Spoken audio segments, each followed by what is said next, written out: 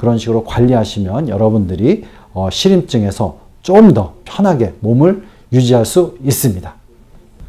안녕하세요. 우리 연세신통 TV를 시청해주신 여러분 감사합니다. 제가 이제 뭐 여러 가지 통증에 대한 동영상도 찍고 여러 가지 건강 관련 동영상을 찍고 있는데 제가 찍은 동영상 중에 다리가 시려요. 종아리가 시려요. 이런 어, 시림증에 대해서 얘기한 부분이 있습니다. 그래서 이제 우리 병원에도 이렇게 시림증에 대해서 오셔 치료하는 분들이 많은데 또 여러분들이 동영상이 많이 관심을 가져서 제가 이제 또 하나의 이제 주제를 가지고 여러분과 얘기를 나누려고 합니다. 그 주제는 뭐냐면 어, 여름이 됐는데 뭐 예를 들어 손이 시려요. 뭐 발이 시려요. 이렇게 이런 분들이 있으면서 어, 잘 이해를 못 하셔서 제가 이제 여름에 좀더 시림증이 심해지는 원인에 대해서 여러분들한테 설명을 드리려고 합니다. 첫 번째, 이제 여름철은 아무래도 이제 더우니까 찬물을 좀 더 먹게 됩니다. 찬물을. 근데 우리가 찬물이라는 거는 물론 이제 체온이 올라가면 찬물이 들어가면 좀 더 빨리 체온을 낮춰주기 때문에 이제 체온을 관리 측면에서는 찬물을 드실 수 있죠. 근데 이제 제가 시림증을 얘기할 때 교감신경계를 얘기한 게 있습니다. 즉, 교감신경이 자극되면 말초순환이 많이 감소돼요. 시림증이 항진되죠. 그렇기 때문에 교감신경을 자극하는 거는 되게 피해야 되는데 특징적으로 위나 장으로 찬물이 들어가면 교감신경계가 갑자기 좀 항진이 됩니다.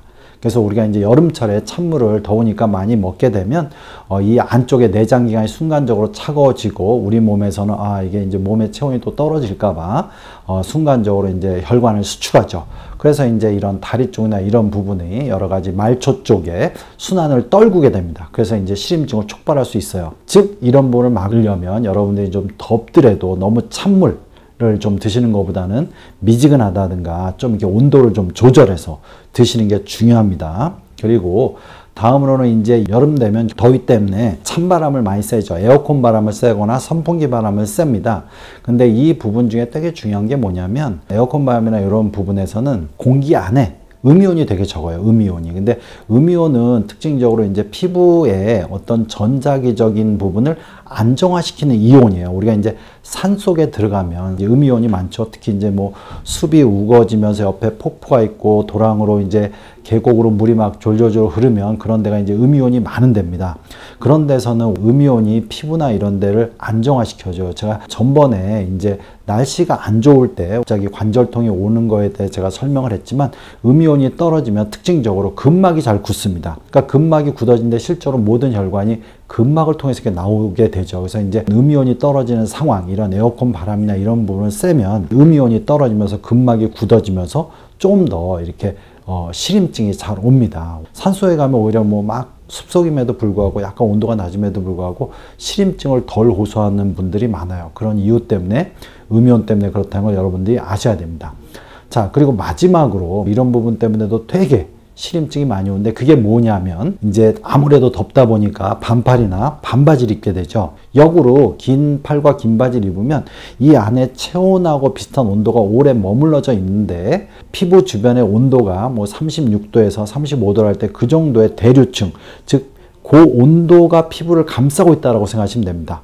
근데 우리가 이제 반바지나 이제 어, 반팔을 입으면 선풍기 바람이나 에어컨 바람에 의해서 그 옆에 피부를 감싸는 미세한 공기층이 바로바로 씻겨 내려가죠. 그렇기 때문에 우리가 뭐 에어컨 바람이 뭐 25도, 뭐 26도로 해놓을 때 우리 몸하고 실질적으로 온도 차이가 많이 납니다. 그렇게 씻겨 내려가면. 그러면 급속도로 또 이제 이 피부층의 온도는 뚝 떨어지게 돼요. 그래서 이제 그런 경우 시림증을 많이 유발합니다. 그래서 여러분들이 주의하실 게 뭐냐면 덥더라도 시림증을 유발하는 데는 아무래도 얇은 옷이라도 꼭 입으셔야 됩니다. 얇은 옷이라도 꼭 입어서 이 피부 주변에 어느 정도의 공기층의 흐름을 멈추게 해놓는 게 되게 중요합니다.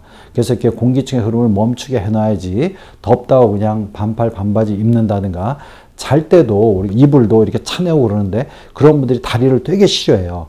그럴 때는 오히려 얇은 바지, 그러니까 공기의 흐름이 어느 정도 멈출 수 있게 하는 그런 바지를 입고 주무시는 게 시림증을 관리하는데 되게 중요하고 할 수 없이 이렇게 피부에 바로 이제 노출되는 반바지를 입는다면 크림 같은 거, 바디 이제 바르는 크림이나 이런 오일을 슬쩍 발라두는 것도 되게 중요합니다.